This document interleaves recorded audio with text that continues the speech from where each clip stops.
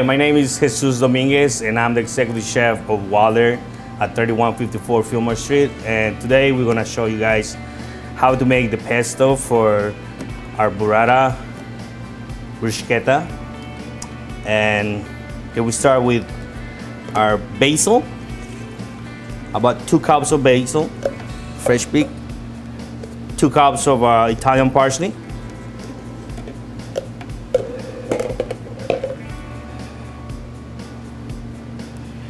Uh, we like to use also a little bit cauliflower just for the body of the pesto. Two cups of extra virgin olive oil.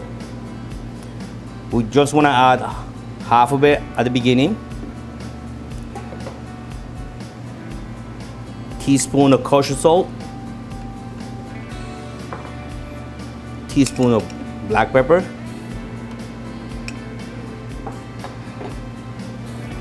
And two cloves of garlic. And we go.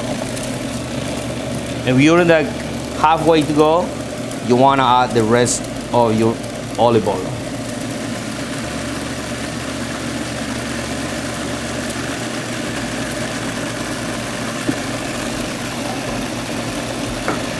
And just right before to finish,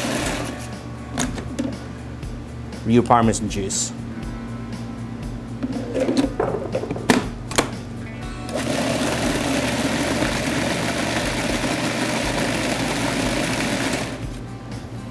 And there we go. There we got our pesto. And now we're gonna show you how to make our stone fruit relish. So we're gonna start with the stone fruit, like very fine dice.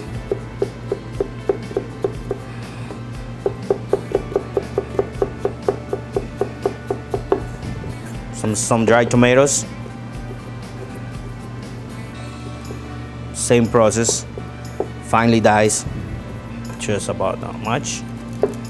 Like to add a little bit fresh chopped chives. Chopped parsley. Salt. Black pepper. And lemon oil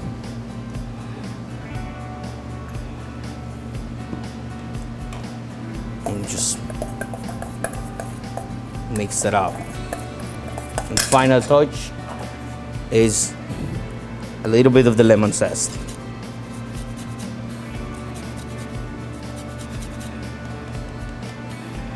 There you go. Stone for relish. So now I'm to show you guys how to plate the dish.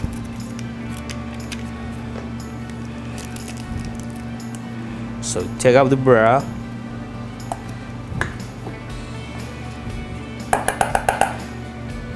You want to scoop it from here, two ounce.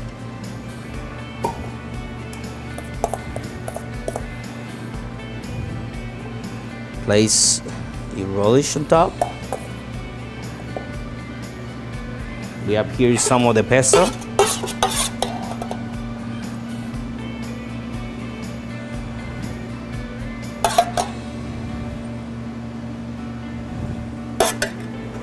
Toasted pine nuts just for crunch a little bit of parsley garnish. And this should be the burrata